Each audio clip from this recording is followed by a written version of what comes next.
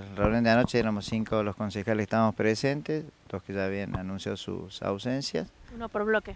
Uno por cada bloque, así que em, en el temario que se trató en la jornada de anoche era la donación por parte de- del municipio de Villa General Belgrano a la provincia de Córdoba, más especialmente al Ministerio de Educación, para poder eh, realizar la construcción de un nuevo establecimiento provincial de, de carácter eh, que se llama PROA, son colegios de- experimentales con orientación en, en informática, para aquellos alumnos que tengan la posibilidad de egresar de, de este establecimiento, eh, ya pueden insertarse en el mundo laboral en todo lo que es la parte de informática y en software. La que es lo donación que de un predio.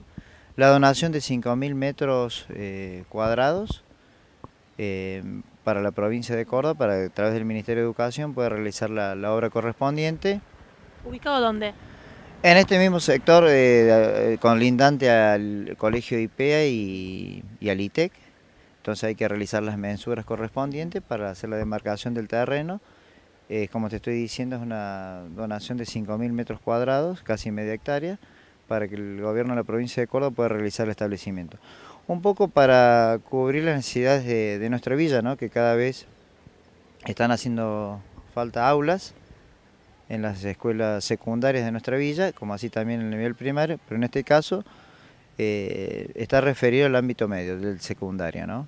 Es un poco venir a cubrir la necesidad. No, eh, esto no quiere decir que ambos colegios, como ya sea tanto el IPEA o el Colegio Diego Rojas, no necesiten aulas, o sea, sí también los necesitan estos establecimientos. Así que, pero por lo tanto es, es venir a, a cubrir un bache importante en nuestra villa, porque como siempre lo hablamos, tenemos una población muy flotante, con nuevos habitantes que eligen vivir en Villa General Belgrano y por lo tanto, bueno, eh, se acrecienta la población ed- educativa juvenil, que es lo que ne- necesitamos más, más colegios y más aulas, ¿Llegada a precisamente. este colegio es un proyecto eh, concreto? Eh, ¿Hay fecha?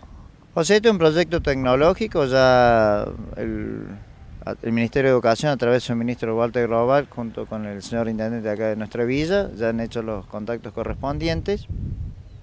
El primer paso es la donación, ¿no es cierto?, de la superficie del terreno para que comience la, la obra. La obra estaría financiada a través de la provincia, toma un crédito del, del Deutsche Bank, del gobierno alemán, o sea que teóricamente los fondos, los fondos estarían, ¿no? Así que bueno, es cuestión de que nosotros dimos el primer paso. Las autoridades que unánime la aprobación. exactamente los, los cinco miembros que estábamos presentes anoche en el consejo lo, lo votamos porque consideramos que, que es necesario para la villa, es, es una demanda social, ¿no? Como te decía anteriormente, ya si bien ambos ambas instituciones que están presentes en la villa, sea el Diego de Roja o el IPEA, necesitan cosas, pero también hace falta otra escuela nueva, ¿no? En la villa, ¿no? ¿Algún otro tema se trató anoche? Bueno, el segundo tema de importancia era el convenio de ratificar el convenio con la Secretaría de Transporte de la provincia de Córdoba, en donde el municipio realiza el convenio para a través de- del boleto educativo provincial, ¿no?